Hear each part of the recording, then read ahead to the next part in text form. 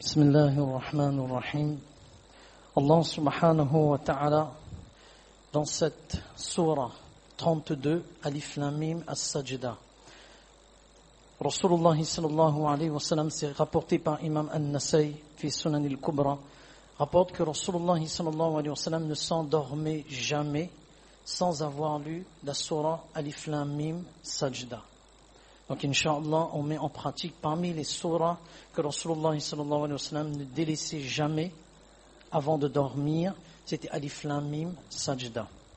Dans cette surah, il y a un verset, verset 17.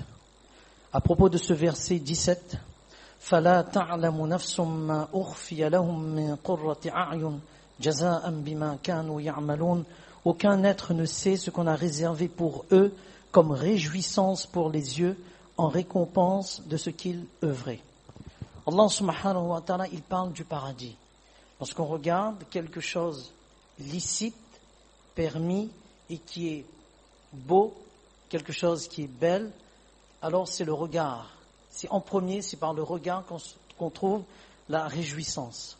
Abu Huraira radiallahu an rapporte que Rasulullah sallallahu alayhi wa il a dit Allah dit Allah il dit que j'ai préparé pour mes adorateurs pieux ce que aucun œil n'a vu, aucune oreille n'a entendu et aucun esprit n'a pu imaginer.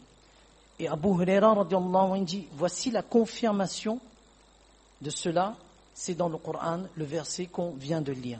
Dans une autre narration, il est mentionné que même aucun ange rapproché, Ibn Abi Hatim c'est un hadith dans lequel Rasul dit aucun ange rapproché, aucun prophète n'a vu ce qu'il y a dans le paradis, sauf Rasulullah lors de l'ascension. En décrivant le paradis, Rasulullah il dit on va faire cet appel. On va faire cet appel, quelqu'un va faire cet appel qu'il vous appartient, aux gens du paradis, on va dire qu'il vous appartient d'être en bonne santé, sans jamais tomber malade, de vivre sans jamais connaître la mort, d'être toujours dans le bien-être, d'être dans le bien-être sans jamais connaître le malheur, d'être dans le bonheur. Et d'être jeune sans jamais vieillir. La perfection du physique pour pouvoir apprécier les délices du paradis. Dans un autre hadith, Rasulullah sallallahu alayhi wa sallam, il dit l'ombre, il y a dans le paradis un arbre dont l'ombre, seulement l'ombre, un cavalier va mettre à peu près 100 ans pour parcourir l'ombre de cet arbre. Subhanallah, comment le paradis, il est immense.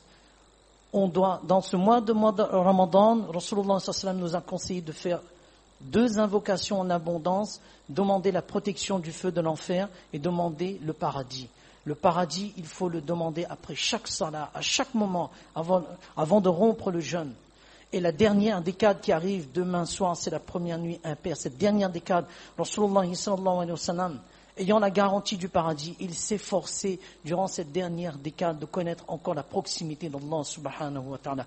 À nous aussi, inshallah, ce paradis, Allahu Akbar, les délices de ce monde ne sont rien comparés aux délices du paradis.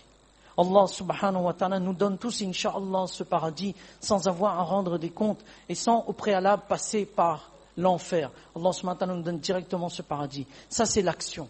Ça, c'est l'action. Et on termine par le bonus dans, hadith muslim.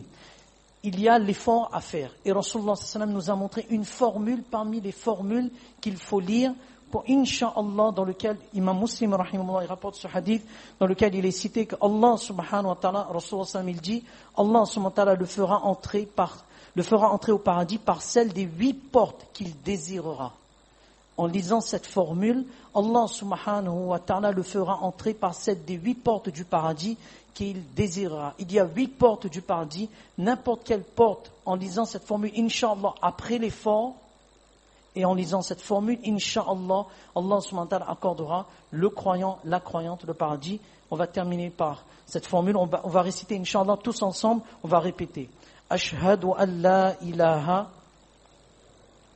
illallahu wahdahu la sharika lahu wa anna muhammadan abduhu wa rasuluh wa anna isa عبد الله وابن أمته وكلمته ألقاها إلى مريم وروح منه وأن الجنة حق وأن النار حق.